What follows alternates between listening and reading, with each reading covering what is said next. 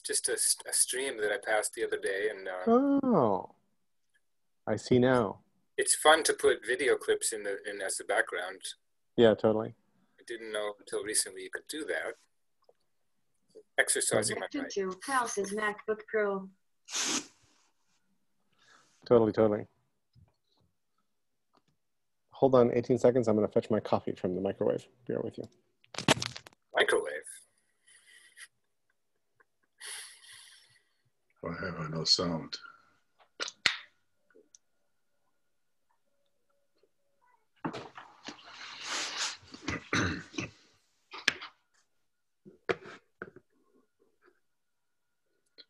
Is it really okay to use microwave?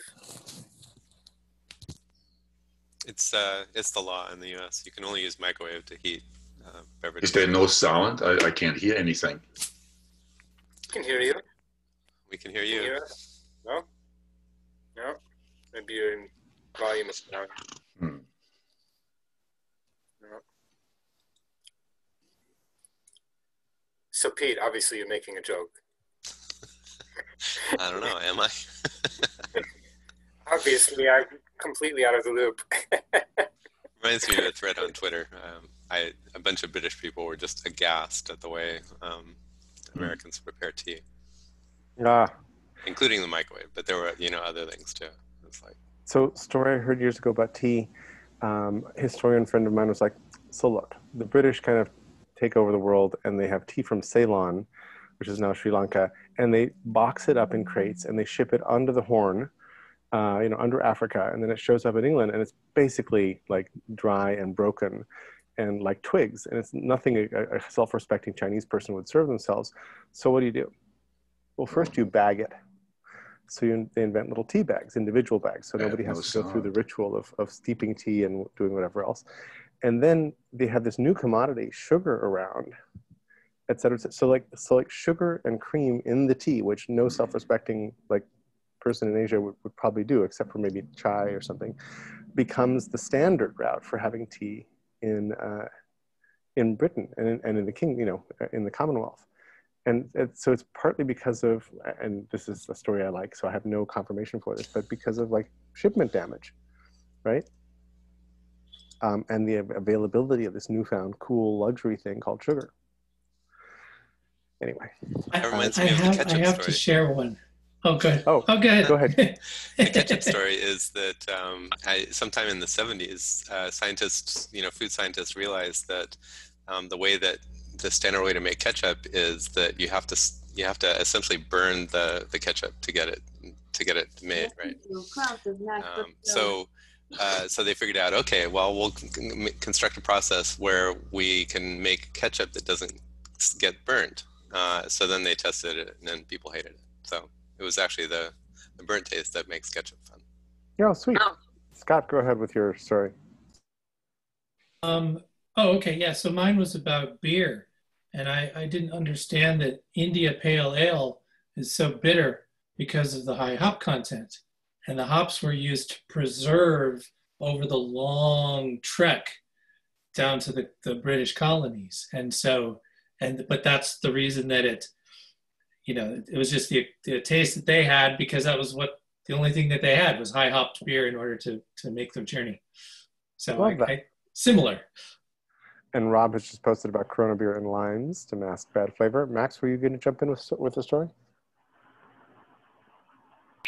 I could jump in with a, a follow on to the hops. Go go Interesting story I was told could be just truthiness or fake news was that uh, at a certain time during like the Puritan colonial moments in the U.S., there was a decision amongst all the brew, all the breweries of which um, bittering agent to use, and um, hops was selected uh, partly because it has phytoestrogens in it and it tends to pacify male aggression, um, unlike Hmm. other herbs. Uh, and the word that you, when you make beer and when you finally throw in, it goes from being, uh, what is it, mash to wort. Wort is like the German word for weed, I believe. And it's just like that's when you throw in the bittering herbs to balance out the sweetness um, and add preservation value. Anyway, jumping in on hops info. That is very cool. Neil has one too. Go ahead, Neil. Hi, everybody. Uh, while we're just talking about uh, brewers, hops, and various other things, uh, nobody knows why anybody likes Vegemite from Australia, but it's the thick, dark brown Australian food spread made from leftover brewers' yeast. Um, most people in Australia don't eat it, but when they go overseas, they have to because that's the, the cultural norm. That's it.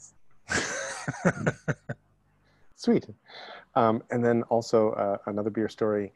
Um, way back when Carlsberg Brewing was young, uh, beer was dicey because sanitation wasn't great and the yeast weren't very stable. So uh, the Carlsberg brother, uh, sorry, the I'm t- totally spacing on the names, um, but the brothers who started Carlsberg basically, uh, their scientists stabilized a yeast and then they gave this yeast away all across Europe, all across the world. They gave it away basically um, raising sanitation, like raising health around the world. Um, and they continue to do that for a century. So that instead of locking up the IP and selling it off or, or having a uniquely healthy beer, uh, they just spread their, their stable yeast everywhere. So um, good stories. I've And- got a endless food stories. Go ahead, Kevin. I've got a friend who formed a purchasing cooperative for craft beers last year, and they give them uh, the buying power of Coors uh, collectively. Purchasing co-ops are super easy because nobody has to do the, you know, mind-numbing consensus of doing a, a worker co-op or a, or a grocery co-op. You just combine your, your, your purchasing. Like all the ACE hardwares are independent hardwares, but they buy collectively uh, you know, at the same power as, uh, you know, Lowe's or, or, or those sorts of things. So anyway, that happened last year and they're- they're all happy about it. Love that. Uh, the name of the yeast from Carlsberg is Saccharomyces pastorianus, and I just put a link. I, I just put a link to that uh, place in my brain in the chat. Um, one more food-related story. Anybody? Anyone? Bueller? Okay. Otherwise, let's do it. Let's go Just do a, a. just a quick note that yeast in the brain isn't a good look, isn't a good look. Ah. Um, Apparently, it leads to fermenting violence. it's fermenting violence. I love that. Is that the male brain or? Um, so for a light round of check-ins, uh, we, we, we did a good job last, uh, last week of sort of zipping through our check-ins. Why don't we go Rob, Kevin, Hamilton? Oh, me first, did you say? Uh, Rob, but I th- it looks like you Oh. might be having your, No, having I'm. I'm good. I, you caught me off guard, but I'm good to go. Um, so uh, I wasn't on the last call, so I don't know how brief you went, but my my focus really has been a little on myself and my own uh, practices around knowledge and kind of um, getting more clear on the things that that uh, I think are true or important, true true. Um, Jerry, I know a part of your brain you have my beliefs, so I've copied that structure and tried to to uh, work with that. There's um, uh, someone that has uh, the concept of evergreen notes, and so I and I uh, I've been trying to rather than just collecting stuff and hoping that something comes out of it, trying to be more uh, intentional about uh, capturing my thoughts and my my point in time now, uh, whether that's around health or spirituality or world events, uh, you know, just whatever whatever those topics might be, versus kind of ping ponging around different ideas and sources and and things like that. So um, I had been spending most of the oh Andy Matt Matus Matuschak. yeah, Yep. that's the evergreen note uh, Yep. guy um, that I've been been watching, um, and uh, I've been spending most of the summer in South Carolina, and just returned to Arlington, Virginia, for the next probably couple of months at least. So I'm physically in Northern Virginia. Cool. I used to live there. Thanks, That's- Rob. Uh, then Kevin, Hamilton, Max. Okay, um, I'll go. Uh, I've been mentioning this um, church-based credit union to wipe out payday loans, and we pitched uh, RSF Social Finance yesterday, and they you know, they want to work on racial justice, so they're they're saying yes. and what was funny is now they want us to put a lot of numbers in little boxes to help them believe in the future. And so I always have somebody who can do speak that language, uh, and, and we're going to do that. But it's just pretty funny. They bought the they bought the story, they bought the team, and now they, if we put numbers in little boxes, they'll believe in the future. So we're going to do that. I, I think it's kind of a, a talismanic kind of thing because you know we're a pre-revenue startup, but sure we'll we'll put numbers in boxes. You can make up numbers. future.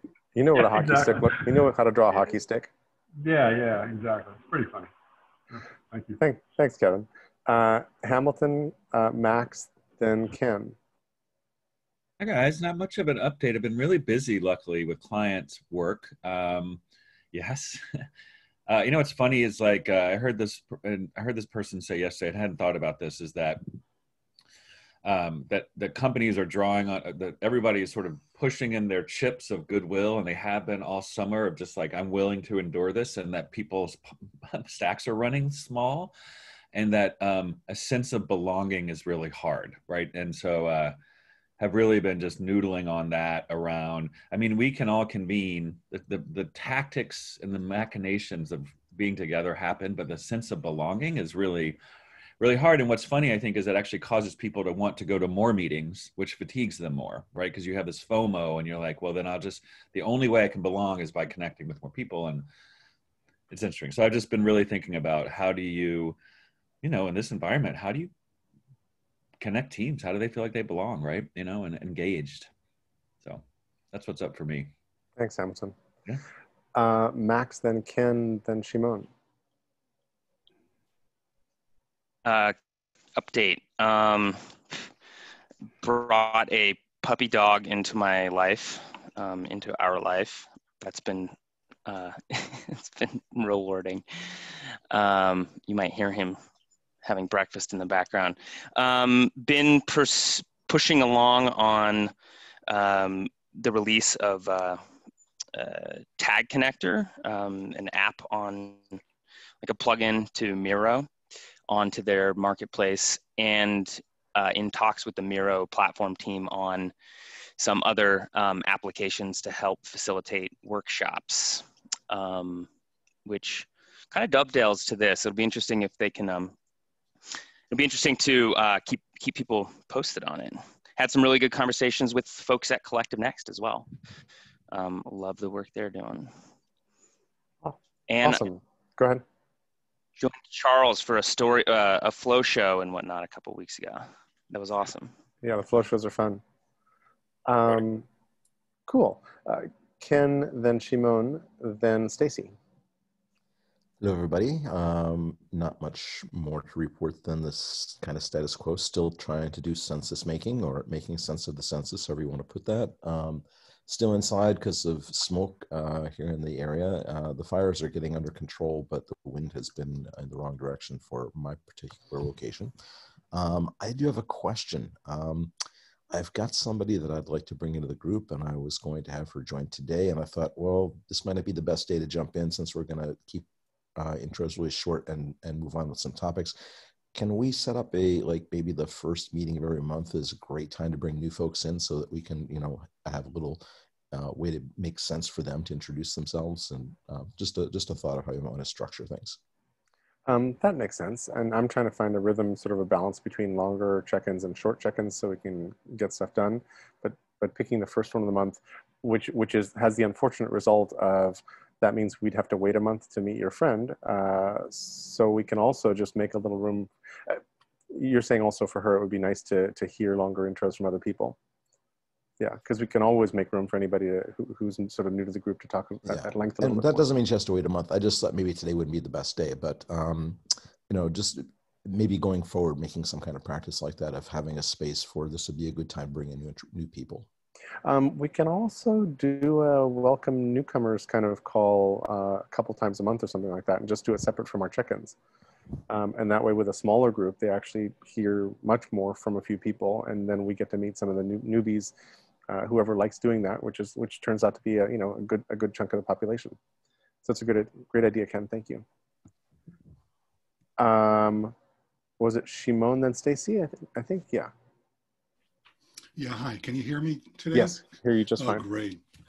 Uh, so this has been a good week. I actually took the whole week off from work, so I've been able to move along some project. Uh, the other day, I jumped on a call with uh, a different connected group that had a discussion with Tom Atlee, which was really very inspiring. I also am moving along with my project on a citizen commission for uh, COVID 19. There's been some uh, certainly movement. I've been able to sort of like play around with it, get some more people involved, and actually connected with a group at Temple University who just came out with, uh, you know, uh, 30 experts contributing to a volume about policy aspects of COVID 19 from federal to state to global level. They're having a conference September 16th to sort of like make public their report. And I actually connected with them, and they're somewhat interested in the project that I'm working on. So I'm really looking forward to that. But overall, I have been enjoying getting to know more of the people in the group and uh, really learning a lot. So thank you to everybody. Thank you, Shimon. Really appreciate it. Um, Stacey, Julian, and then whoever's calling in from 952 area code. Um, this is my first time in the group. I was glad to see that Judith showed up because I thought I was infiltrating some exclusive male group here. alas, alas, you're not. It's our wish that it not be this way, but thank you for being here. Thank you. Um, I know most of you I know either from Zoom calls, many of you from Facebook. So I'm happy to be with this group and learn what's going on. Super. Thank you. Uh, Julian, and then uh, mysterious phone caller, and then Judy. Last week was the SIGGRAPH conference, the, an, the big annual computer graphics conference, which was held on Zoom, of course, that presented a lot of technical problems because many of the, much of the material presented at SIGGRAPH is not something you can experience on a flat screen. Sometimes you even have to uh, smell things and very often touch things. And I think it was a challenge for the organizers this year to try and, and replace some of that experience. I had a great talk with Matt last week about putting it all together, uh, where it is uh, kind of like close to the universe, but we're all talking about putting it together. It changes with, to whatever you're talking about at the moment. Uh, since SIGGRAPH have been trying to assemble some of the material from last week, uh, like Jerry, I use the brain a lot, except my purpose is to create some kind of little knowledge base, which then goes into my vis visualization process. And since so much came up at SIGGRAPH, then I've been trying to update those. Uh, and hopefully we'll be able to figure out a way to show that soon. Um, just bearing in mind the limitations I just mentioned of Zoom. That sounds great. Thank you. And and we're, we've all been prisoners in these little rectangles now for months, and uh, liberation would be a, a, a, lovely prospect. So looking forward to these Flatland. things getting more real. Flatland, I know. And and VR, AR, XR, whatever, has not hit stride the way lots of people had hoped it would for a long time.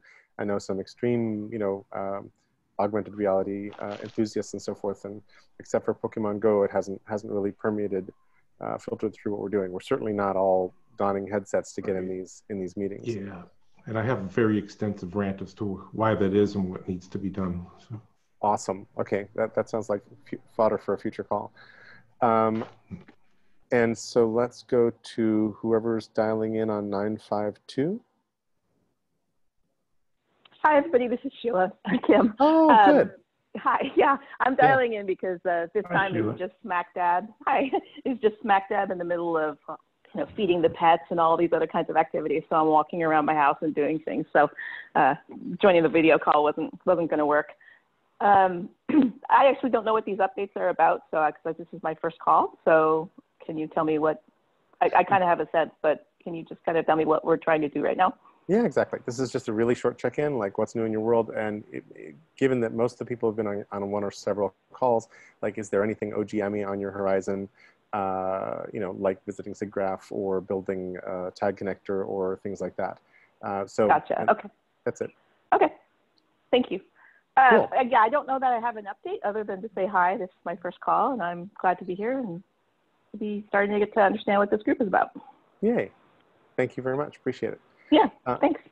Let's go to um, Judy, then Klaus, then Neil. Good morning, everybody. Um, I've been really trying to drill down a bit in the intergenerational, seven generational thinking process from two particular dimensions. One is actually building a bit of a body of knowledge that I can use for groups that haven't used it before so that they're just not hearing my verbal explanation in the crude of what it is and giving them some resources. Um, and more importantly, trying to document practices that have been effective in different types of settings. Um, I'm particularly interested in the K-12 process, given the disruption of education and the opportunity for some significant changes. And so when I say intergenerational, I don't mean only sort of grandparents and through seven generations, but also mixed age group learning and learning from others. So kind of tying in pedagogy with that and trying to figure out how to put together essentially two kinds of primers. One for organizations that want to advocate for this and begin to develop their own frameworks to put it in place. And secondarily, actual examples that people can use if they're ready to put together X kind of a course or work with this particular kind of. there have been some really good um, intergenerational webinars recently with groups that are doing it specifically for education right now, um, with large groups of volunteers from the community. So much of the literature is actually on sort of senior citizen centers and kids and that blending, which is not where I'm really wanting to focus. It's a little That's more awesome. than brief, but that's what I'm doing. Well, that's awesome. Judy, uh, uh, can I just jump in? Uh, I'm Go ahead, Kevin. around around me. I have a, a, a bunch of folks who are doing homeschooling pods who are really looking for things who are finding that. So if you could reach out to me, I can get it out there for people who are they're hungry to try something because they have they often hired a teacher but have parents around who don't know how to be teachers. That's awesome. And also, Charles and Lauren have a bunch of stuff going on in Kiko Lab, which is related to that. Judy, did you want to re- respond? Yeah, I'm, I'm involved with Charles and Lauren and others in that, and we've been talking about that. And Kiko Labs has a kids cool laboratory with a K on Sunday, um, where they're kind of building by doing and experimenting with different approaches. Um, I'm also really interested in not only traditional, in quotes, learning opportunities, but tying in the sciences with the arts and other things in terms of creativity dimensions and co-creation of projects at early ages so that children have the opportunity to be in team experiences much earlier than most of our systems allow. Love that. Thank you. Uh, you also mentioned pedagogy and uh, Howard Rheingold, who's kind of the, the spark behind peeragogy, was on the Kiko Lab call on Monday, which reminded me that uh, peeragogy fits beautifully, beautifully with the layer of OGM that has to do with facilitation and how we understand each other and bridging the cultural divide and all of that, and, and especially as applied to learning. Um, so I'd love to sort of build a bridge and, and see if we can't do a little cross-pollination there, as we'd like to do with uh, the peer-to-peer groups, as Neil brought up in, on a previous call as well. Go ahead, Judy. Just one other nugget. I came across a really interesting treatise from Alaska based on grand families, which is the framing of families that are missing the parent generation, which is very common in the Native American culture. And so there's a fair bit of knowledge content there that I haven't worked my way through yet, but I'll shoot it over to you, Jerry, so you can add it to the brain because uh, it was the most in-depth sort of pragmatic family structured but it was with parents absent so it's a sort of a unique dimension of it but i think most of it would apply regardless of the circumstances Yeah, thank you. That's very sobering. Um, Klaus, Neil, Doug. Yeah, I just uh, picked up my son from San Francisco and he moved in with us. Food is better, I suppose. But uh, his office extended uh, the stay, the work from home uh, rule until uh, next August. He's working, he's a, a marketing manager for Grammarly. So that's sort of indicative how, how companies are really digging in for a much longer uh, recovery time from, from, this, from this pandemic. In the food world, there is um, a, a, real uptick in energy. I came across one file that I wanted to share here. Um, and, uh, oops, it, it doesn't want to let me do this. Hold on. Yep.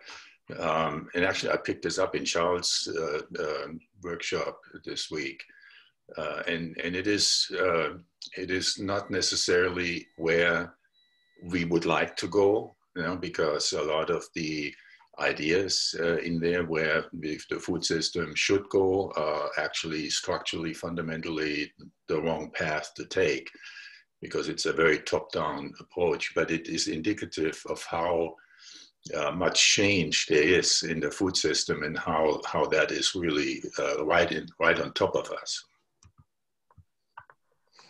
Thank you, Klaus. Um, makes a bunch of sense. Uh, Neil, Doug, then Mark. Hi everybody, Neil Davidson here checking in from Belgium. Um, update on the weather, uh, it's dropped about 10 degrees, 15 degrees in the last few days and we've had a little bit of rain so it's reduced my uh, hand watering load in the garden. Um, but of course, now the days are getting shorter and the summer is slipping away. So, um, the um, in terms of what I've been up to, uh, had a wonderful conversation with Jerry uh, over the weekend and Shimon about a week before that. Um, also been in conversation with Michel Bauwens from Peer to Peer through several uh, forums involved there and building that bridge that we were talking about potentially between him, uh, a chap called Johan Brandsted, who's developed the Miro uh, technology platform for mind mapping and moving things around. I've been invited to be part of a, a Rethinking Economics Antwerp uh, group that's um, been doing some work in the past, but linking a whole bunch of other players and speakers into that, including uh, Michelle Holliday, Nora Bates, and, and, others. Michelle is also giving a talk uh, seminar on food type stuff. Klaus, I'll ping you with the link afterwards.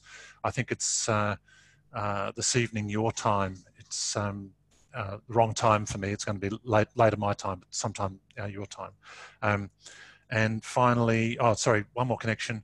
David Jago, uh, good friend of mine, good conversation with him. He's the chap who's the technology of participation facilitator in Australia, looking to link with the work that Anne and I are doing. I've worked with him in the past, and there's some really good stuff in what he's been doing, but also in terms of how he's learning how to work online in China with hybrid meetings, people on the ground in China and him uh, zooming in from Australia, and how to cope with the the emotional drain of speaking to a room without getting the energy back from it, um, and the Zoom drain type process. So some really interesting learnings as well as the stuff he's teaching.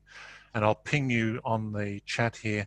I'm presenting and I'm on a panel uh, on, a, an event this weekend around the theme social media competence and communication in times of crisis. This is being run by uh, Gita Payne, uh, P-E-Y-N, and the Formwelt Institute. And I'll, I'll ping you uh, in the uh, thing here. So a lot of good stuff happening. Uh, quickly in terms of this group, the linkage that I see is people with good stuff, good data, good information, struggling to find how do we govern internally to look externally uh, without uh, tipping all the eggs into one basket in one particular direction. So similar dynamics coming up, and we're all grappling with this in the context of lockdown, but also how do we break out simultaneously. So yeah. thanks, nice to see you, and good to see you too, Stacey. Thank you. That's, that's really rich. Um, you're reminding me that years ago, back in the normal times, I ran into a guy whose whose uh, job it was to help bridge the cultural divide for groups that were working internationally across, you know, and, and his typical scenario was American company with Indian programmers or something like that. And, and he was helping the sides understand each other culturally so that they, so that they would know things like when the other side said yes, it doesn't actually necessarily mean that they understood and they're going to comply. It might mean something else entirely.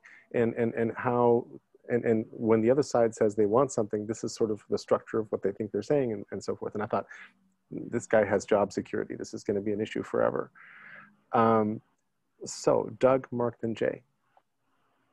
Well, three things. Um, the first is I've been trying to come to terms with the whole body of work by Bruno Latour, which is quite a spectrum of interesting stuff. Uh, and it's quite challenging. Uh, the second is I've been using Roam for daily notes and seeing if that's an effective thing to do.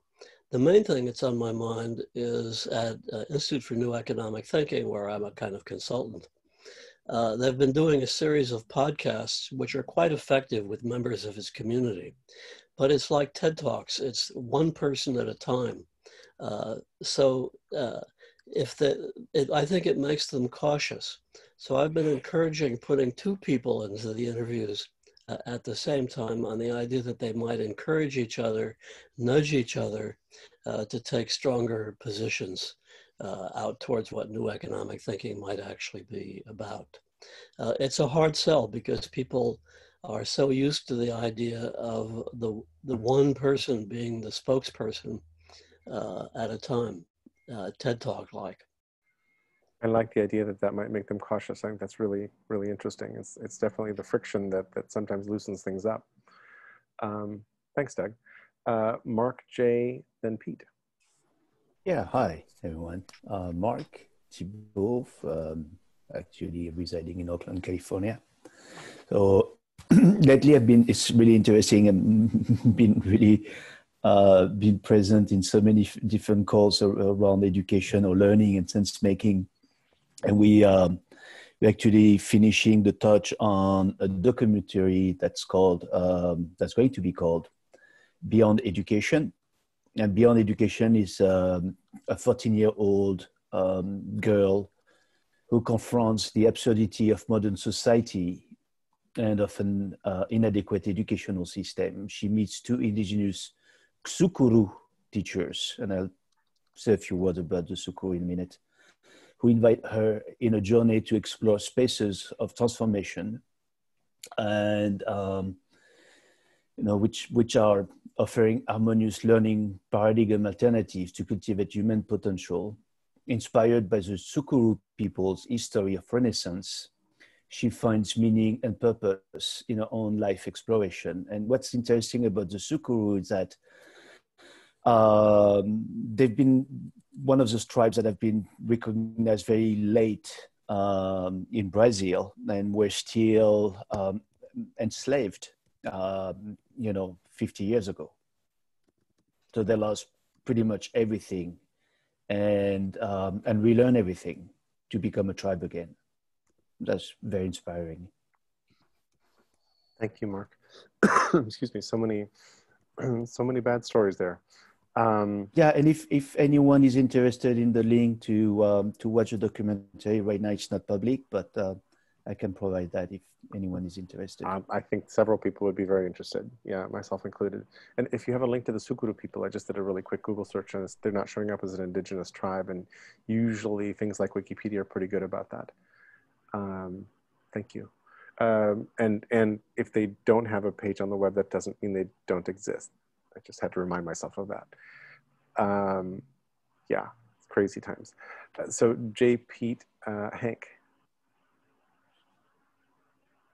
Hi there. Yeah, I've uh, one of the things I've been wondering about and where it fits in this group. I had a great conversation with Ken last week about uh, the role of collective initiation and and also the how we hold grief and where grief uh, fits in with uh, creativity because it's hard to operate um, in great changing times without recognizing what is lost and what we're lo- what's lost on a personal level as well as a collective level.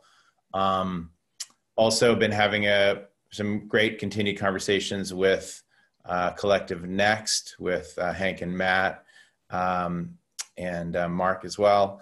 Um, just continuing to kind of push the brain and consider how how can might it be able to gather stories either on individual level or collective level and uh, and and what systems could be used for for our individual wisdom as well as collective wisdom. Um, and works just kind of i guess with school it's just starting to really pick up so um, i'm kind of head down well thank you uh, Pete Hankton Fallon. Uh, hi, Pete from San Diego, California. And um, I, this week has still been about tools for sense making. Uh, wikis are, are, back in my conscious again, and wiki, wiki nature, um, and how the old old style wikis really worked. Um, uh, I also had an existential crisis where I went, oh my God, I've, I've been ignoring Roam for whatever reason, and I have to go look at Roam again, and, and maybe it's better than Obsidian. And I, I reconvinced myself that I like Obsidian better. Um, not that Roam is, it, Roam just doesn't fit as well as Obsidian does for me. What have um, the Romans done for us? Uh, also Airtable and Trello and an open source alternative to Trello called Wekan. Um, and I've of course been doing video transcription, working on preserving files, archiving files, uh, especially big video files. Um, uh, and I'm also thinking about decentralized profiles and how that might work. Thanks, Pete. Um, Hank, then Fallon, then Matt.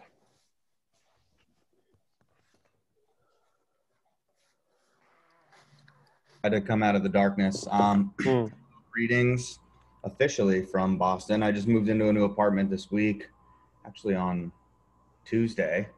Um, so I won't give you guys the grand tour only because one, it's not appropriate, and two, it's barely unpacked. So um, no, I, I think you know my life physical. Uh, as, as it's physically manifested is in a little bit of a dis, is in disarray, which actually kind of reflects a little bit of my mental state for the past week. So um, the next couple days, I'm really just kind of focused on uh, thinking about the things that I want to pursue and tackle over the next couple of months because I've been kind of laser focused on, you know, this move and, and just kind of pushing things along. Um, and I want to kind of reinvest time back into some of those other projects. So that's kind of where I'm at. Super.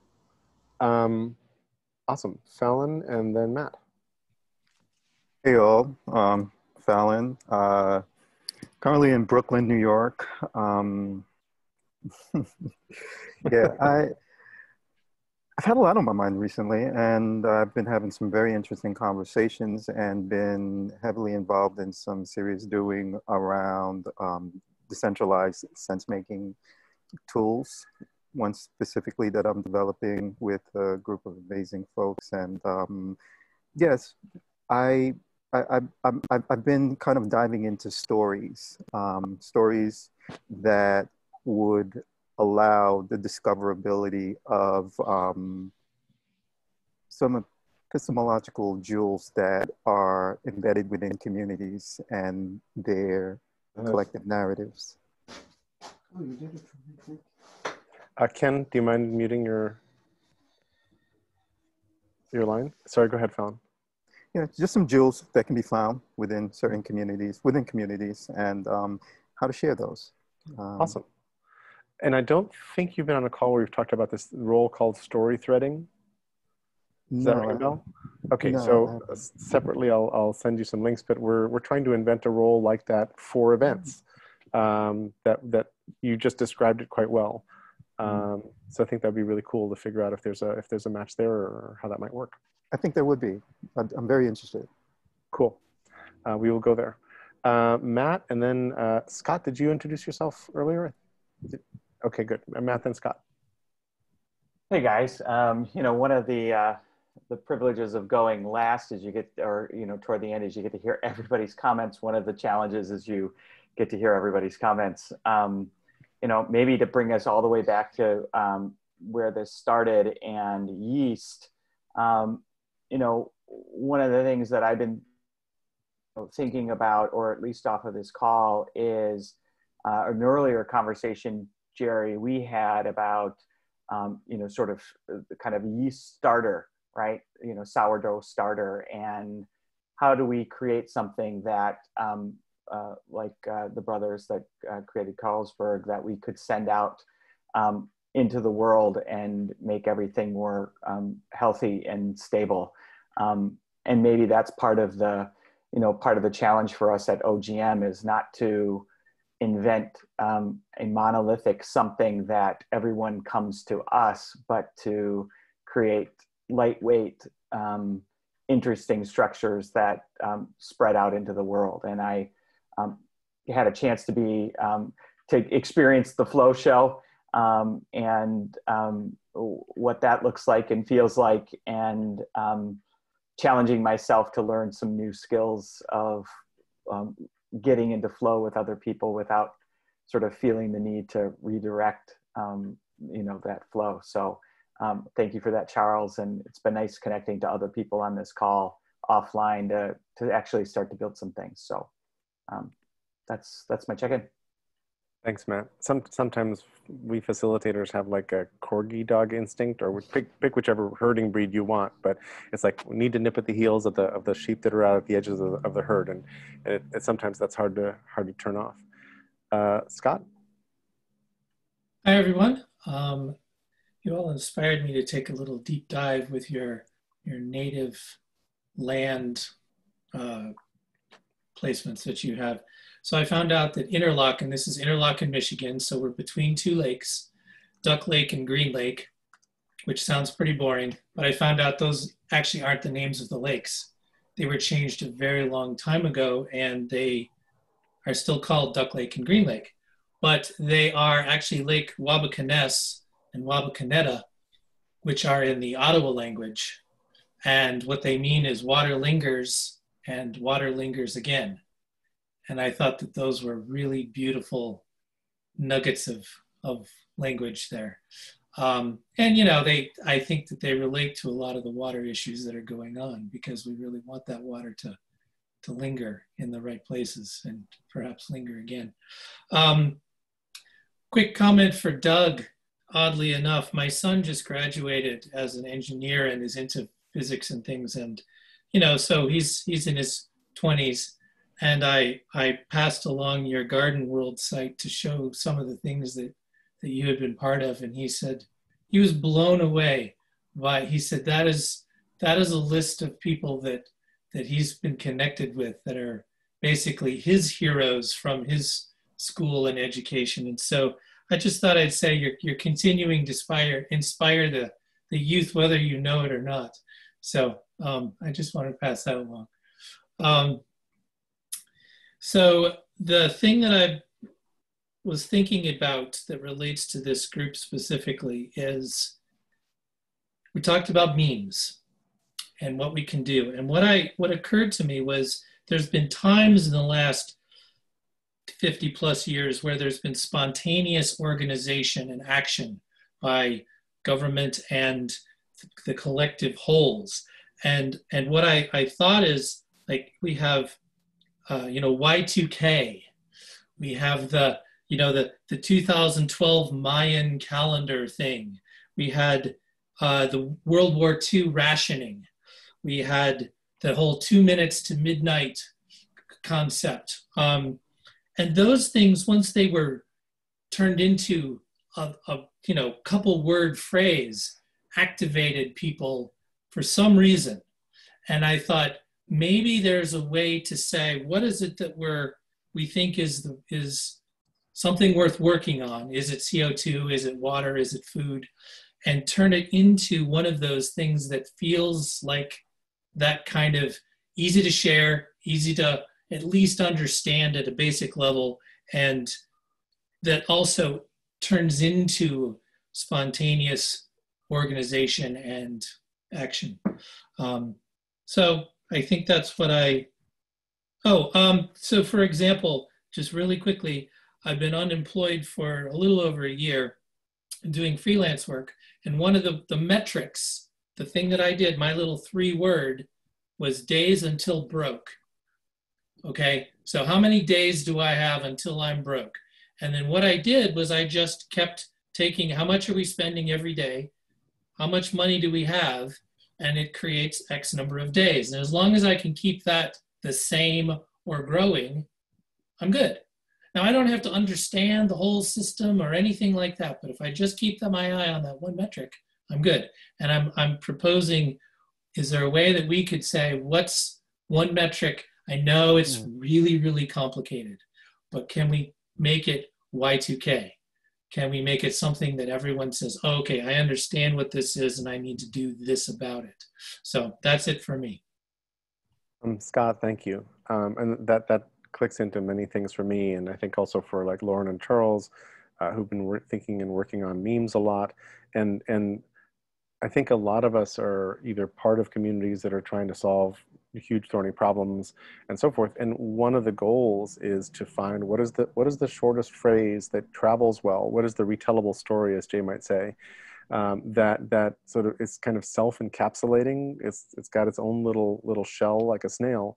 Um, that then set down someplace can trigger positive behaviors right? And and what are, what are the small things we can say or do that travel well and that are contagious uh, in a in a good way? And if we could if we could only crack that code, uh, then maybe uh, we could catalyze larger scale social change.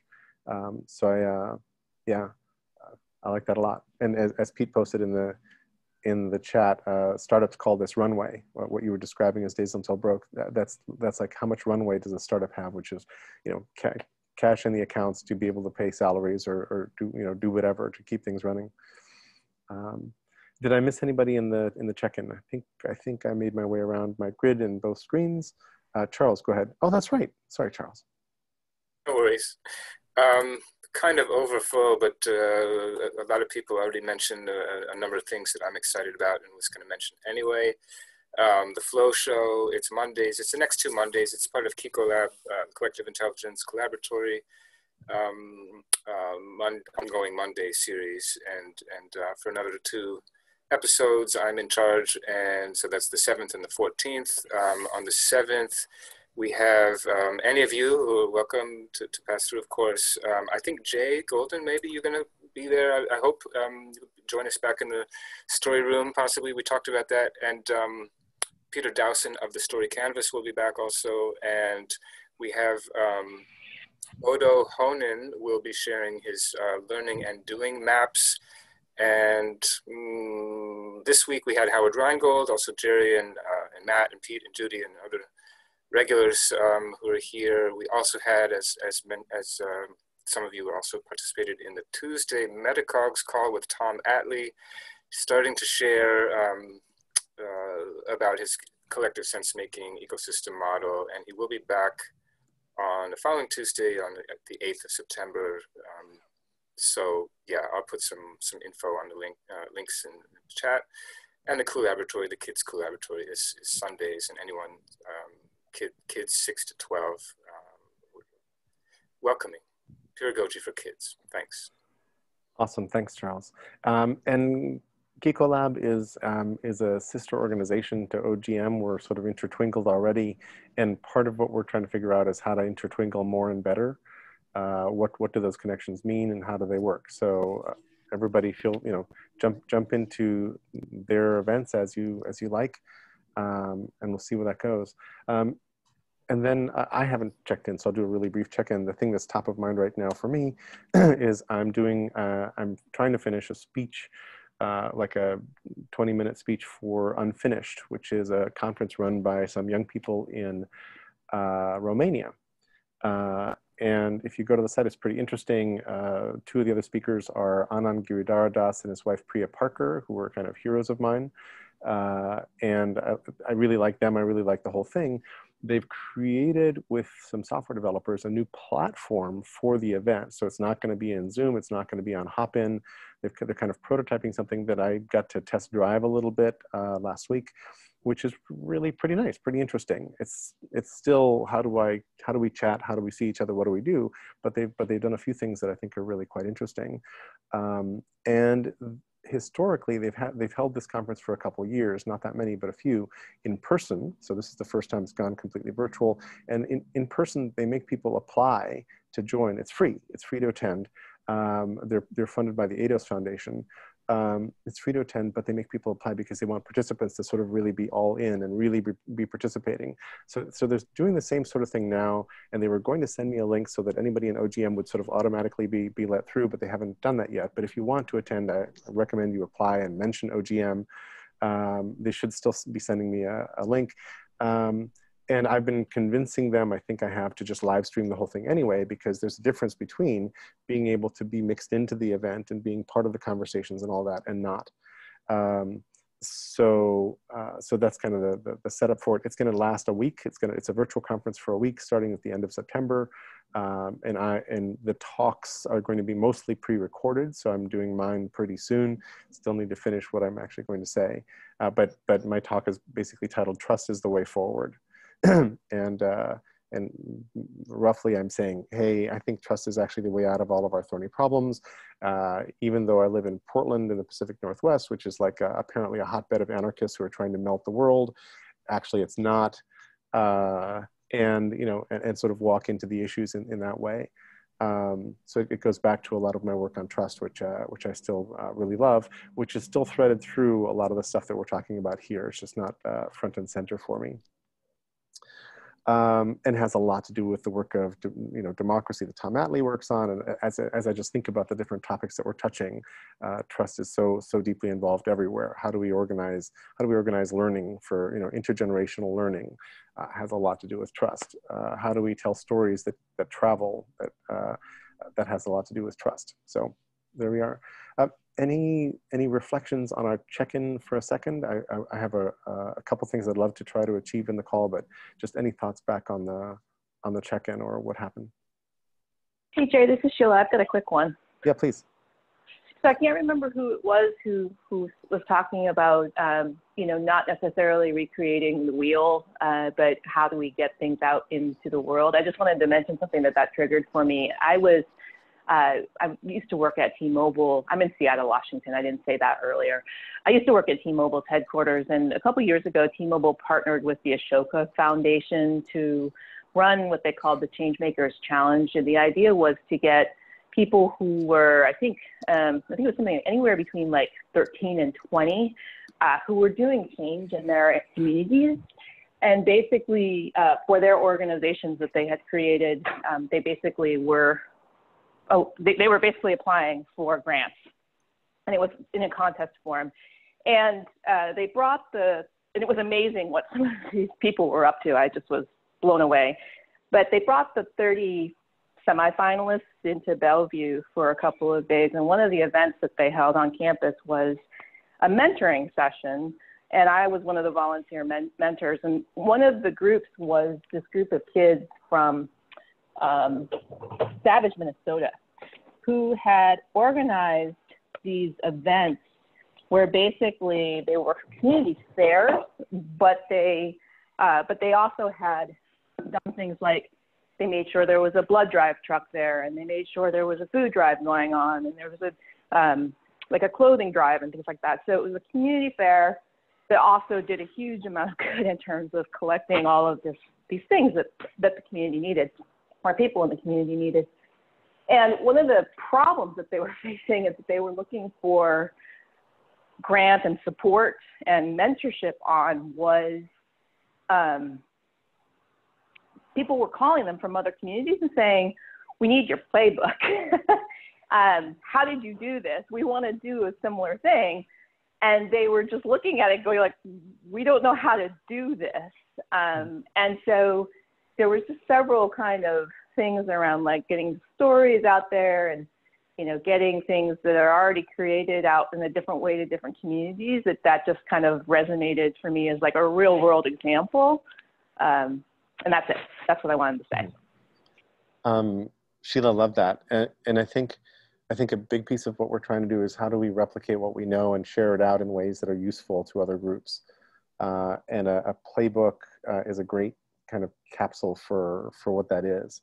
Uh, and I think most people are, don't know. I mean, what, what, what strikes me a lot is when groups convene and decided to go take some action, they're still faced with a bunch of really weird techno platform questions about, okay, where do we save stuff? Do we just, the thing that struck me at the start of lockdown was the proliferation of Google Docs and Google spreadsheets for useful bodies of work. Like, like there were just dozens and dozens of them as people were trying to self-organize uh, around the country. Uh, so how might we create a better platform for sharing what we know? Um, so th that's very central for, for what we're talking about. Um, anybody want to riff on that? Yeah, Jerry. I mean, I Please. think um, you know one of the things that just sort of for the for the new folks, um, what's interesting about OGM is um, we're simultaneously having conversations about OGME stuff mm-hmm. right? Um, which is what this check-in is about is sort of what are you working on? What are you thinking about? But I think Jerry, you know, to kind of bring us back to uh, the core of this is there's so many good things going on in the world, right? Um, uh, and there are so many playbooks that are already written or being written as we as we speak. The question is, is what's the what is the meta layer that lives on top of it um, that allows those things to be easily accessed um, and communicated and shared. Um, and those things are um, multi-generational or, or indigenous wisdoms that, that last. Those things are um, new things that are being invented. Um, and I think that's what you're going to find with this group of people. Um, you know, and I think about some of the work that Julian's doing, which is just uh, this comment that we, you know, um, if we only knew what we already know, right? Um, and how do we get that to happen? Because I think, you know, the Googles of the world and um, those things have been so almost like corrupted by, um, you know, information that's useless, um, that's there designed to um, to feed the numbers in the boxes, Kevin, right? Um, right. And so that's you know that's part of the problem that I think we're trying to solve. In addition to sharing the problems that we're trying to solve, like you know the food system and the education system and those things. It's more of the you know the meta the meta kind of stuff that I'm interested in seeing if we can make some progress on.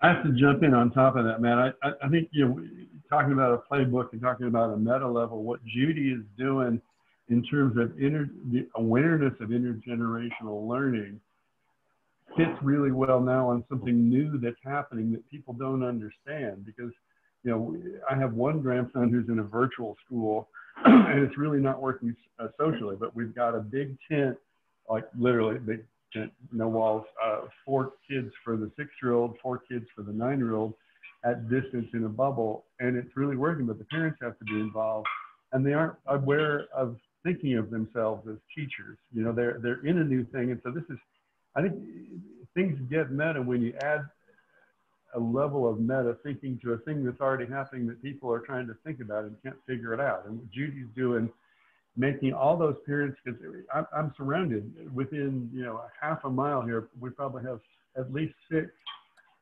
tent-like uh, teaching pods of people that are in networks that I know about, right? They've hired a teacher or whatever, or, or some expert, and they don't know how to think about it. And the parents were involved in it. So, I mean, adding a meta level to it to an emergent phenomenon, you know, emergence, you, you evolve to a higher level, you know, when, when the bacteria becomes a bacterial phage.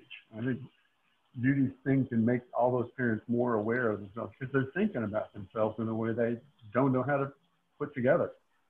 So I, I think that's really cool. I sent you an email. I'm, I'm really interested in your work. Too. Cool.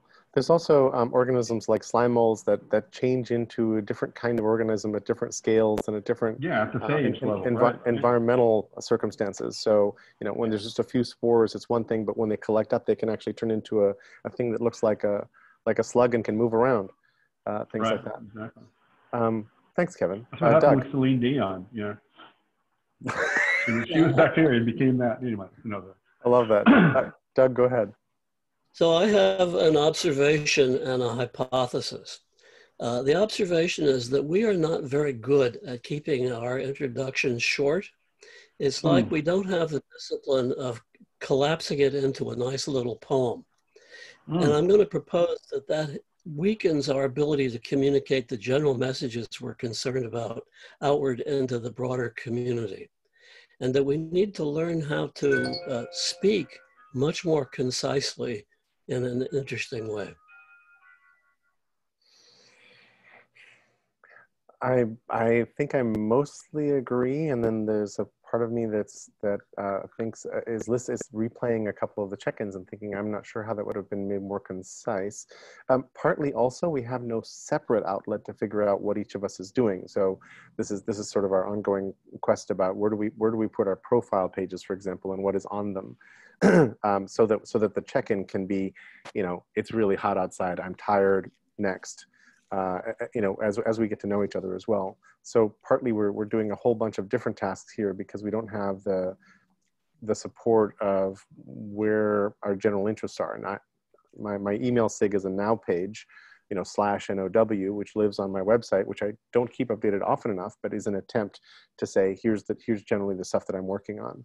Uh, which is a, which is a, a try at that, a swing at that. But we need we need much juicier now pages. My brain is actually the best version of that, but I don't really, I don't think that my now page is reflected in my brain, which is something that just clicked in my head, and I'm like, oh, I should do that better. uh, because then someone could wander through not only what I'm interested in, but each of those contexts and go deeper. Uh, but we're doing a little tiny bit of that here. Neil, go ahead. Just picking up, and forgive me, I, I missed a bit of what Kevin said, but just picking up on Jerry shouldn't have to defend the, the check-ins. Um, a complex adaptive system learns by watching itself in motion. Right? And so we have to see who's moving where, at what speed, with what baggage, you know, with what capability.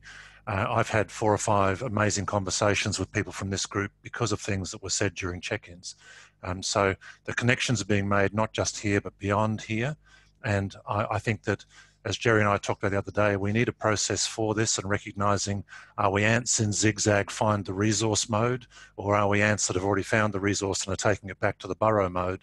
Because they're different models of the same uh, same organism, and I think my sense is we do need this sort of rich check-in. I think this has been relatively short for a really good check-in, and I've got a bunch of connections already that I want to go and pursue uh, and see where to from here. So, yeah, but I, as I say, didn't hear exactly uh, what Kevin said. I heard the last little bit, so forgive me.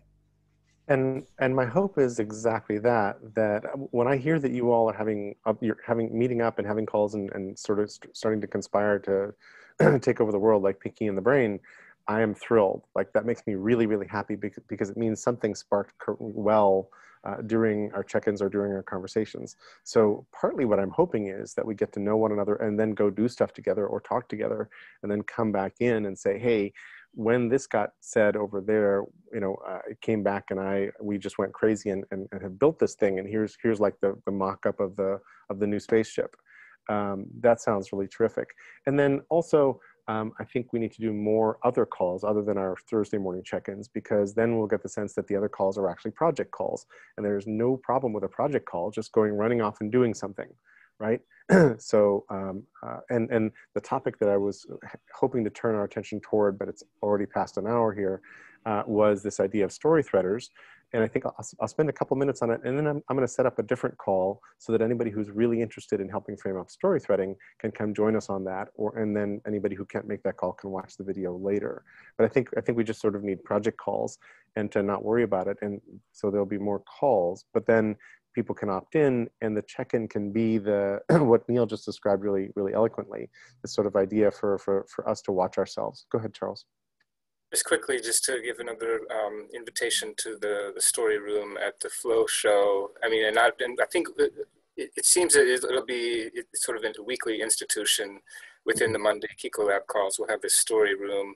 It may not um, always be limited to an hour, and we're not so so hard ass about the, schedule. But but just to say that's that's a great place to to explore all these things as well and kind of go into story. And this um, the use case that we're looking at is this online learning um, imperative that's not the, the learning part anymore, but, but uh, evolving. So just to welcome story threaders there as well. Cool. Other thoughts where we are right now? I, I, and also other thoughts about check-ins. I have really complicated thoughts about check-ins because they're so, you know, they're, they're important yet they're they're uh, they take a lot of time. Go ahead, Kevin. Oh, okay, yeah. I, I was just saying that you know there there's an assumption by some folks that this is a group that should be collectively working toward a goal. I, I, I wonder if that's true. Um, my own dream is that we Can you say that again? I, can you? I heard collectively working toward, and I didn't hear what happened. What, yeah, what Kevin said after that? Yeah. You want what Go I ahead, already said? Go ahead, Kevin. Okay, there, there's an assumption that this is a group that should be working collectively toward a goal in this format, and I, I, I question that. Um, go ahead. Yeah, I mean, Kevin, I, I agree on, on, it depends on what level um, we're talking about and, and what goal we're talking about. If we're talking about, you know, uh, banking black, or we're talking about the food system, or we're talking about the education system, or we're talking about, you know the work that uh, you know I'm doing with Jay and, and folks, then then the answer is probably not, right? Um, because we're all working on different things, and that's part of the beauty of this group. If the answer is how do we create systems and structures and platforms and you know playbooks and things that allow the working on a goal to be a more impactful um, kind of effort, then I think you know that sort of that again that meta structure I think is what the hunt is here. And you know we sometimes get lost in the this kind of the pursuit of our individual goals and and miss the conversation about the structure which this is so i you know i agree that um, you know with with neil and in in folks which is this is the these these are the moments in which we can find areas where we can then partner together on projects and things. And then when we partner together and do that work we should also be thinking about what makes what would help us make those partnerships more effective and how do we build you know those things on top of it. It's almost like the scaffolding that allows us to reach that higher you know higher level right? Um, so that's the i think that's the shared hunt versus the shared hunt being our individual passions which need to be pursued as well. And I'll, I'll add to that, um, drawing on some of the original metaphors as we were starting to kick around these ideas for what OGM could be, that we're sort of a mushroom in that, in that uh, a mushroom is sort of what happens to mycelia when they come up as a fruiting body in order to sort of reproduce and go out elsewhere. But to borrow uh, the metaphor that, that Judy really likes, um, our project ideas or what we're doing are kind of like mycelial links, like hyphae running out to find other other my, mycelia, other mycelial networks, or to pop up mushrooms in new places, or to do whatever. And then the second uh, natural metaphor that we used early on was that this is an estuary. And estuaries are where salt water meets fresh, where rivers run into the sea.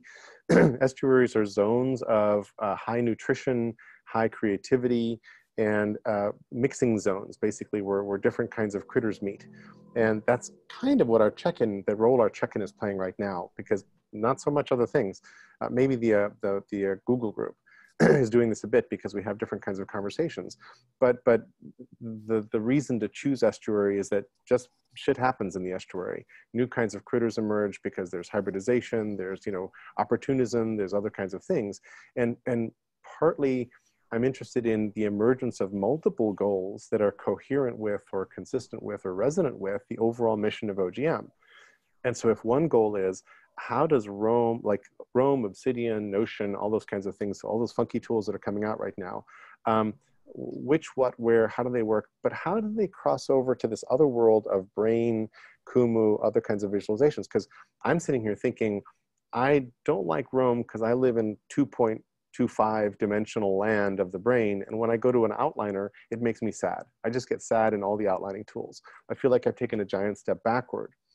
But the brain has this notes field that could just, just very, very easily be one of these outliner tools with super great backlinks and all that. And I'm like, that would be hot. That would be fantastic. Why does that not exist and how might that work? And that could be a goal oriented project that could turn into some new code, could turn into something that we all wind up using. so I'm really interested in emergent goals that, that resemble the little hyphae that are poking their, their, their, their little noses through the soil to find other networks and bring in other projects that are already working, things like that. And then the Zoom I, chat is, is, is brutally inadequate. Agreed. I jump in? Go ahead, Sheila. And then Judy. Yeah, I was just going to say a couple of different things. Going back to what Doug said, I, I feel like there's a sort of a I'm experiencing the conversation around the check-ins as being either or when I think there's actually to me I would frame it more and the way I experienced it is is more in the frame of an interesting challenge. The thing that Doug said that I think really resonated with me was the idea that you know maybe not knowing or maybe not doing things or challenging ourselves to summarize things really quickly could have an adverse impact on how we explain ourselves to other people and i just want to just say I, I think that there's a real I agree with that. I think there's a real I think there is a real challenge in that. I think anybody who has at least in my experience at any time I've had to explain myself uh, either as someone who's uh, seeking a job or as someone who's trying to sell my services as an independent consultant if you know there the reason why they call it an elevator pitch is is that there is a need to be able to get across fairly concrete things or fair not concrete but to get across things in a fairly um, concise manner. And I think the idea that, you know, so I would kind of riff on what Doug said and kind of say there's an opportunity here to potentially practice getting conceptual thoughts across very briefly that I think is a really interesting, uh, provocative statement. So, Doug, I don't know whether that's what you meant, but I just wanted to say that. To me, that's the way I heard what Doug said.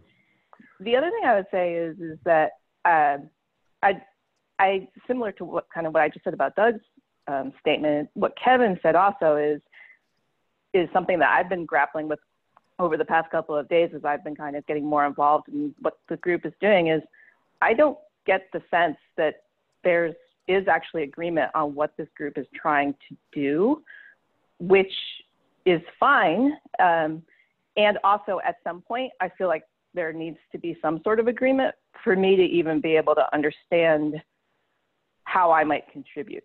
Because quite quite frankly, right now I'm just sort of like, well, I'm interested. I'm listening to a really interesting conversation, but I don't necessarily have some thoughts about how I could contribute productively.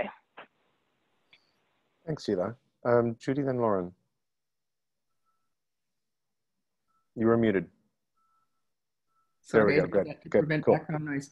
Um, I I think this question is really complicated and it comes down to different roles of people in different settings and different groups and their function. Um, I see this initially as just a network of connecting like-minded individuals with very diverse skill sets and very different talents as a resource pool for networking for more specific tasks. And so it's kind of like, to me, this is a communication hub. And from that, we would then break into a group that's really technical and can do stuff in enabling the technical aspects of virtual that I'm totally incapable of doing, hopefully in a way that someone who is only moderately apt at this can learn. And secondarily, taking the ideology that a lot of people have very different levels of knowledge and moving it to the next level by sharing it with other people, getting feedback on that, and expanding and refining the scope and context. So it's kind of like an expand, contract, expand, contract in a way, because you take in a bunch of stuff and then you you sort of try to get to the real nuggets of truth, and then from those nuggets of truth you expand again and build some more things. And I'm not very good at verbalizing this, but it's a complicated thing, and I think we need to sort of, in a way, separate the philosophical, ideological, academic piece from the action piece, but they're both really important. And our attempt with setting up the discourse forums uh, is to create space for all those conversations to happen, happen in parallel without any of them individually drowning out the, the this Google group, which, and, and the balance between those things we haven't sort of really figured out.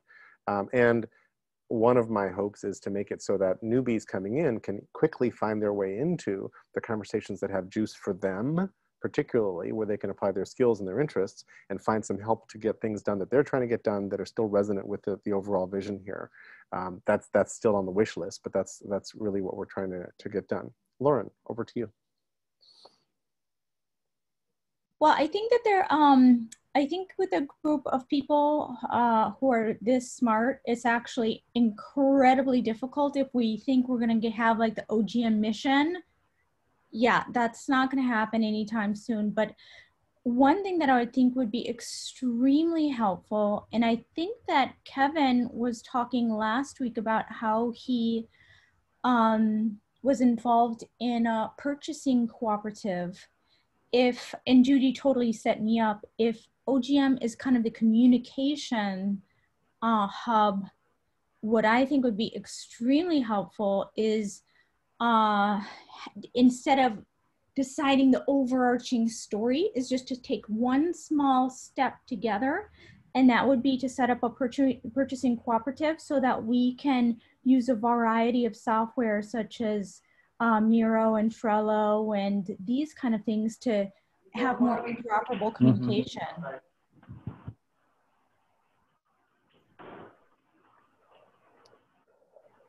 That's a great Sorry, idea. I'm muted. Um, Fallon, did you want to jump in? No, I said that's a great idea. Cool. And partly, partly what we're trying to do here is rethink and remix the tools because one of the more ambitious goals of what OGM could do is help us invent the next communications medium. Right? I mean, we've been we've been on the inner tubes kind of as the web since Tim Tim Berners-Lee kind of created the web, and then corporations turned it into a magazine and a movie theater and whatever else. And we have a possibility here to actually step through into some new way of communicating. Um, and we're not going to get there like next week, and we're not going to get there by drawing uh, a flow chart of what that looks like right now. We're going to get there by experimenting and testing a, a, bunch of new things out and having enough freedom to roam into uh, what that might look like. Other thoughts on this topic? Maybe this is the room where we apply the sorting hat and you go to other rooms. Uh, exactly. I love the sorting hat metaphor. It's one of my favorite things out of Harry Potter. Mm. Uh, and the sorting hat is in my, I think it's in one of my uh, talks about education in that it would be great to, you know, to have some kind of a sorting hat to help any learners find their way into the group and the topics and the methods that work best for them kind of thing. Yeah. And I, I don't know if I'm Hufflepuff or Slytherin. Can't tell. Um, so let, let me talk first. We're, we're actually near the end of 90 minutes, so we should probably wrap soon. What I'll do is I'll schedule a separate doing call about uh, framing up story threading uh, uh, as what it is.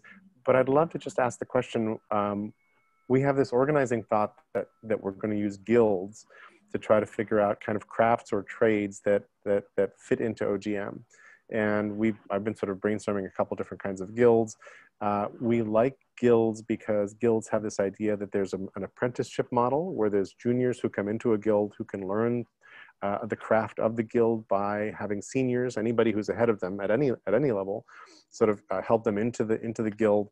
Uh, that guilds also, in some sense, certify, validate, vet, uh, in some in some other ways, sort of test and improve the skills level of the participants in the guild, so that when they go do work in the world, uh, it's at a, it's at a particular level and people keep can keep improving the skill level.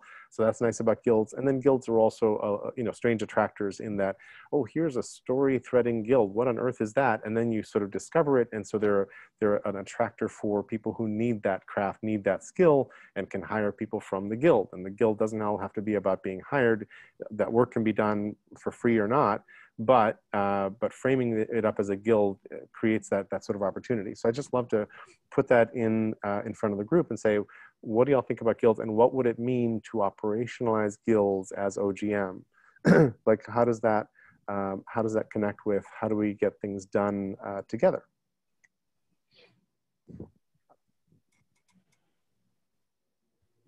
Whoever would like to, and if you hate the idea of guilds, say so too.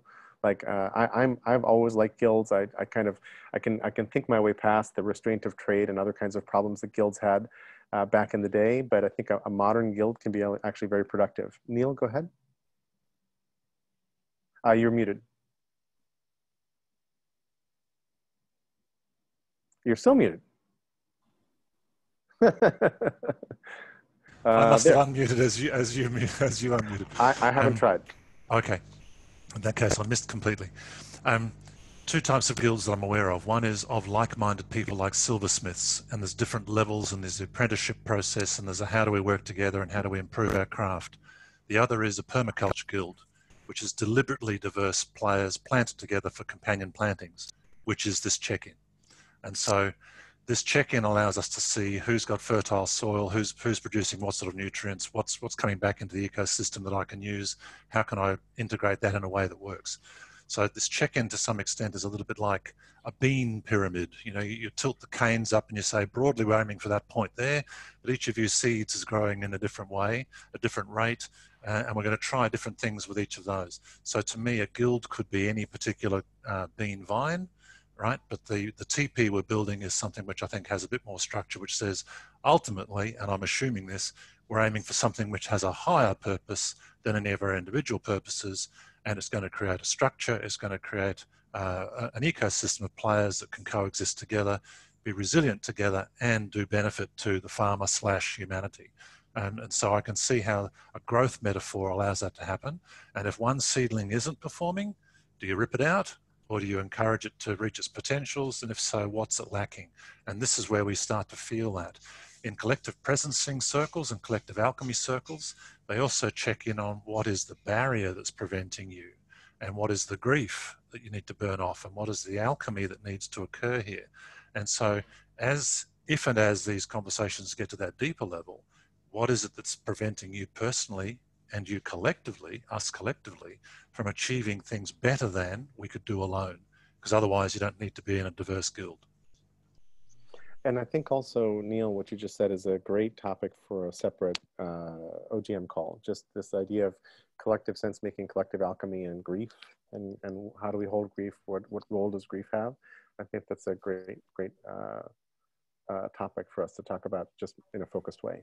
So I'll, I'll, I'll frame up a talk around that. Uh, who else wanted to jump in on guilds, etc.?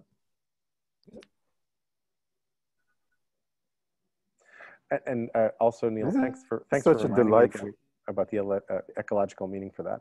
Uh, sorry, uh, Fallon, was that you jumping in? Just a comment on guilds.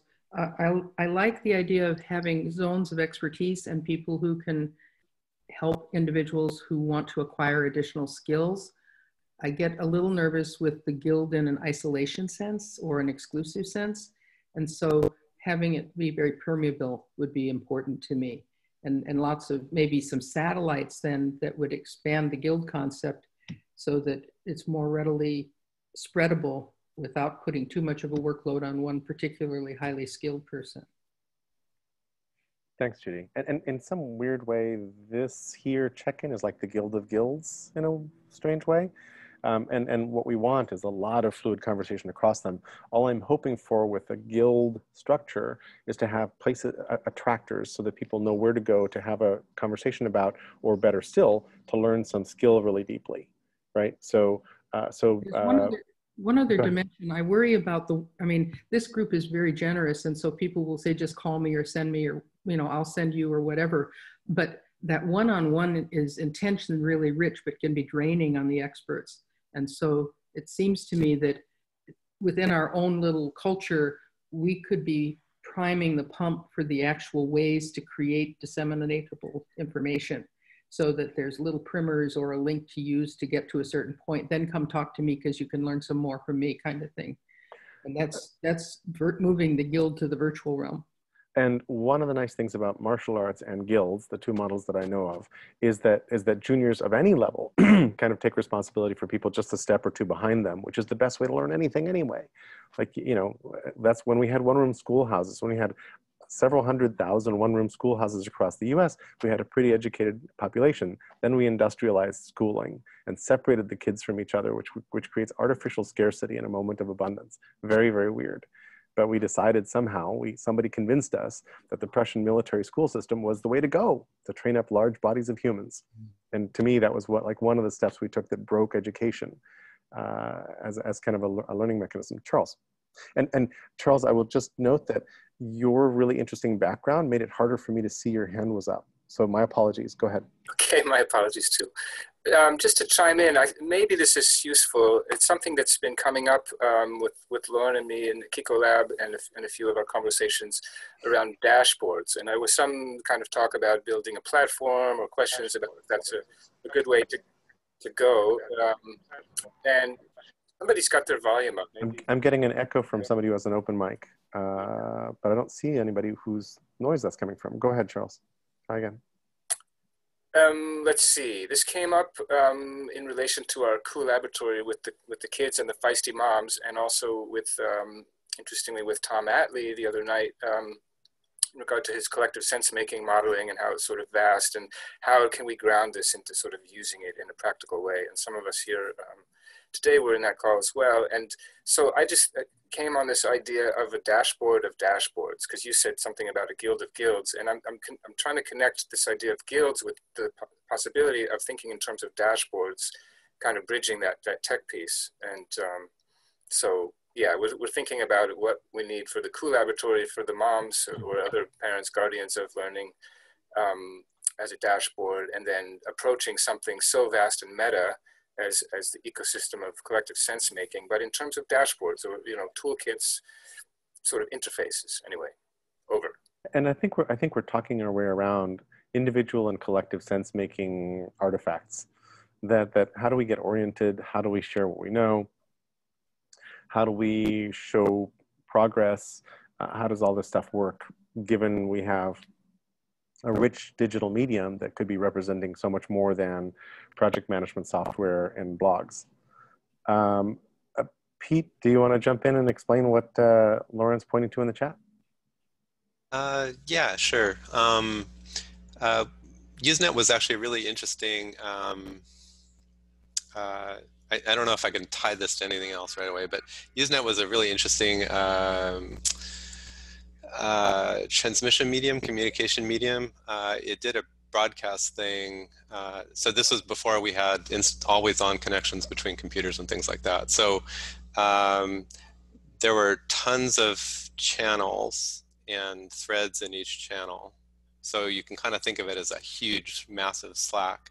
But um, uh, it got the the whole thing, the, all of the data of it got shipped around asynchronously around the world. So one of the cool things about this was that there wasn't any centralization. Um, news kind of flowed all over the world. Um, uh, another interesting thing is that nobody no centralized person could see what you were reading. So you could dump stuff in the stream of Usenet and it would kind of bubble across the world and then you could pick it up locally. So your local sysadmin could see what you were reading. But but in general, people didn't have the purview that Google has or Facebook has that, oh, Pete is reading blah, blah, blah about this. And, you know, I, you know, I, I don't want Google or Facebook to, to know that necessarily. Um, so this is in relationship also to, I think I, am looking for decentralized and federated ways to spread information, um, particularly so a good first thing is profiles. Um, Lauren has also got something that she calls hash bins where she wants to decentralize and kind of federate thoughts, um, kind of like the brain thoughts. Um, that, that's probably uh, good enough love to talk to, to I, I could talk on and on um, about both the nuts and bolts of, of Usenet and why, how it ended up evolving to that. Um, there were a couple different, you know, takes at it over a decade or two of getting better and better and better. And by the end of it, it was a pretty sophisticated and amazing system. It's one of um, those parts of the early intro tubes that many of us miss. Go ahead, Julian. I just want to point out, Usenet is still very much alive and in, in use. Yeah,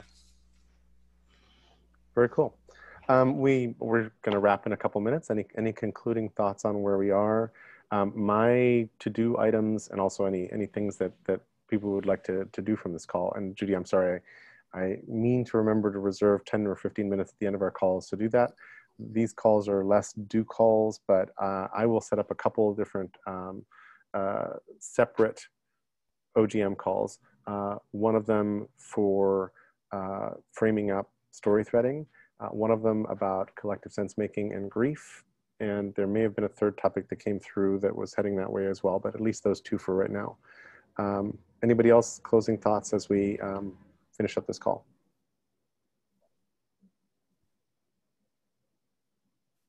Uh, Jay. Yeah, uh, I just just coming back to the check-ins. I would love to support moving the dial on that. I feel like I come in and I'm I'm talking about the things I'm doing, but not the things I'm dreaming and not the things that I'm feeling and wanting to change on, which is really a part of a bigger story. And I feel like everybody's got a bigger story they're working with and they're moving the dial in specific ways and trying to speak about it in a way that might be relevant to the group, which is very hard to guess on. Um, so I think I'm not complaining about it. I think it's got a lot of value, but I I would like to kind of come back to that idea that we could have either a micro story that we can drop into that's part of a hash bin, if I'm understanding that correctly. Uh, it's, it's, it's hashtagged or just, you know, you could spend five minutes scanning to see what people are up to, what's related to you, what you want to move the dial on and maybe make the conversation more sophisticated. Um, I love that, Jay. And it would be lovely if I could just say, okay, good, everybody set your filters to plus two or minus two, and we'll just bump to the meta level, and everybody just share that part. And I, I actually think that, that that meta level part is hard for a lot of people to get to and, and then articulate, and it requires trust. we could probably get there with a light group process and a little bit more time, like if we could slow things down. I think it's really, I think it's hard to get to that. I may be projecting here, but I think I think I think mine's probably pretty accessible just because I'm always chewing on that and, and, and like that's top of mind for me a lot. But for many people, we kind of need to explore our way toward what our own meta is. um, and that would be a really fun group process to do. Um, and does that? And I, I feel like I'm exploring even as I'm saying that. Does that resonate for you? it could be both. It, you could still have a story of the week or a haiku of the week or whatever. I just think a little more framing that would illuminate where the what dial you're moving as related to your bigger picture. I think could be helpful. Cool, uh, Neil. Then Matt. Yeah, just picking up on that, Jerry. The the conversation that we had and looking at how do we get what I call vertical integration because it's this issue of what level are we getting off at. And to operationalize things, you're obviously down in the nitty gritty of a specific project. But at the higher level, you're still operating within a set of cultural ethics norms as defined either within the organization or within the culture or within the globe. So ultimately, global system ethics are critical. Um, Sorry, and we are getting- getting, getting we are getting a little bit of an echo. Uh, Sheila, it might be your phone. Yours was was one of the few that that's not muted. Um, Matt, reminded, sorry, just just reminded me of many years ago. My father took me to an open day at the Queensland University, and they had a uh, uh, an early days digital recording device that actually allowed playback uh, a split second afterwards. And the phrase they got us to say while listening to our own words was, "I'm not a pheasant plucker. I'm a pheasant plucker's son." And you should have heard the laughter in that booth. That is awesome. And and it turns out that there's some delay, like 300 mi- uh, milliseconds, which destroys our ability to communicate. Like like a little, we can tolerate a little bit of delay in hearing ourselves back, a little more, and just it's really really hard to focus on what you're saying. Yes. And one very quick thing. My partner Anne has been listening into elements of this conversation. And when we have the, the breakout session on grief and those other uh, collective presencing type elements, I'd like to invite her along into that Zoom session if that's okay. Um, I just want to say there's an open invitation to invite anybody to any of our calls. This is all meant to be completely open. Uh, please invite people into OGM at, at any level. This is like wildly open. And what I really want is, as we wander through this, if, if, if you're like, oh my God, you know, Sue should be here, like, please, like, immediately uh, invite folks in. Matt, then Ken, then we're uh, out of out of today's call. Yeah, I'm just wondering, and I'd love to, I'd love to hear from people. Um, you know, if it's time for us to have a longer duration collaborative session, something that's um, multi-day, where we work through a design process to sort of sort some of these things out. And if we're ready to do that, you know, if we feel like we've started to assemble enough interesting and interested people, um, you know, maybe it's, you know, maybe it's time. And I would be happy to, you know, design that and, um, you know, to work with this group to kind of figure out what it's going to be. And then, and then we would take a few days to actually work through some of these things in, in earnest and, and in greater levels of detail. That's a lovely idea, Matt. And if we framed up a couple different things we'd like to do in those days, we could probably get a, a whole bunch of, of parallel things done.